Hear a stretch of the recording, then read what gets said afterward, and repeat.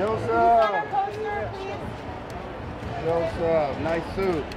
You? What are you wearing, Joseph?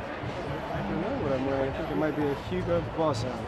Absolutely. How was the premiere? Just Um, it was good. It was nice. Can we get a photo with you? Sure, sure you can. She'll take it. Right Over here. is it acceptable for grown-ups to dress up for Halloween? Did you get one? Absolutely. What do you think about all the sexy costumes that people wear every year?